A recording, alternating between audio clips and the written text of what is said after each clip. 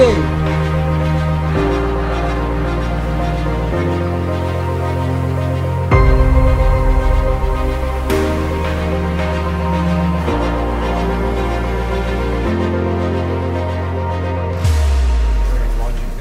on here and then you can have a.